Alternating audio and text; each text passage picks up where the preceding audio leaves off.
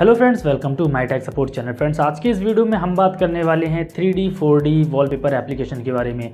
वैसे अगर आप प्ले स्टोर पर सर्च करेंगे तो आपको काफ़ी सारे इस तरह के एप्लीकेशन मिल जाएँगे। लेकिन फ्रेंड्स हम आपको केवल सिलेक्टेड एप्लीकेशन के बारे में बताने वाले हैं, जिसमें आपको काफ़ी सारे फोर अल्ट्रा एच डी मिलने वाले हैं, वो भी थ्री डी व्यू के साथ, जो कि आपके सेंसर के साथ काम करते हैं। इसमें काफ़ी सारे लेयर भी होते हैं। तो अगर आप जानना चाहते हैं इस तरह के एप्लीकेशन के बारे में तो फिर देखते रहिए इस वीडियो को लास्ट तक।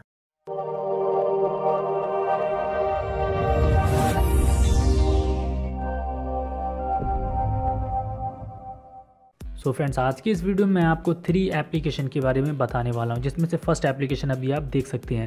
तो इन सारे एप्लीकेशन को आप प्ले स्टोर से भी इंस्टॉल कर सकते हैं, साथ ही साथ आप चाहें तो वीडियो के डिस्क्रिप्शन से भी डाउनलोड और इंस्टॉल कर सकते हैं।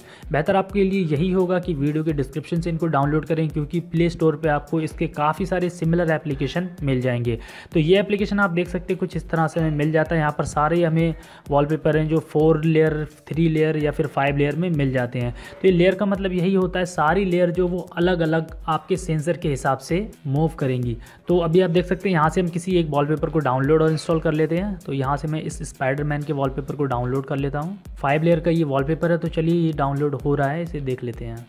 तो अभी भी आप देख सकते हैं, ये वॉलपेपर अपना जो मूवमेंट है, वो कर रहा है यहाँ। तो यहाँ से इस वॉलपेपर को हम यहाँ से सेट कर लेते हैं। तो सेट वॉलपेपर पे क्लिक करते हैं और इसे होम स्क्रीन पे केबल कर लेते हैं। और इसके बाद अब चेक करके देख लेते हैं।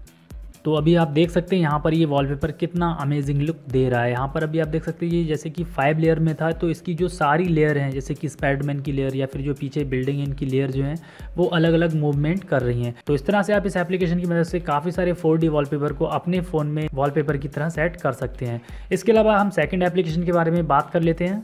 तो यहाँ पर जो हमारा सेकंड एप्लीकेशन है, वो है पिक्सल 4D तो इस एप्लीकेशन में भी हमें कुछ इस तरह के वॉलपेपर मिल जाते हैं। यहाँ भी हमें काफ़ी सारे लेयर वाले वॉलपेपर मिलते हैं, जो कि 4D और 3D वॉलपेपर हैं और काफ़ी अमेजिंग लुक देते हैं। तो यहाँ से भी इन वॉलपेपर को आप डाउनलोड करने के बाद अपनी स्क्रीन पर सेट कर सकते हैं। तो फ़िलहाल यहाँ से मैं अभी किसी भी वॉलपेपर को सेट नहीं कर रहा हूँ। तो इसके अलावा जो थर्ड एप्लीकेशन मैंने बताया था, वो एप्लीकेशन है वॉलपेपर क्राफ्ट तो यहाँ पर आपको काफ़ी सारे फोर अल्ट्रा एच डी मिलने वाले हैं। यहाँ पर काफ़ी सारी कैटेगरी दी हुई है। यहाँ से आप चाहें तो three D abstract animals anime art car city dark यहाँ पर बहुत सारी कैटेगरी बहुत टाइप के आप वॉलपेपर डाउनलोड कर सकते हैं। यहाँ से थ्री डी वॉलपेपर अगर हम क्लिक करते हैं तो यहाँ पर हमें काफ़ी सारे थ्री डी वॉलपेपर मिल जाते हैं। लेकिन फ्रेंड्स यहाँ के जो थ्री डी वॉलपेपर हैं तो ये कोई भी मूवमेंट नहीं करेंगे।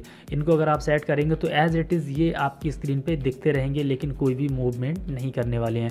तो फ्रेंड्स मुझे लगा था कि ये थ्री एप्लीकेशन काफ़ी आपके काम आने वाली इसीलिए मैं आपको इन एप्लीकेशन के बारे में बताना चाहता था। आई होप ये वीडियो आपको पसंद आया होगा फ्रेंड्स अगर आपको हमारा वीडियो पसंद आता है तो प्लीज़ वीडियो को लाइक शेयर करें।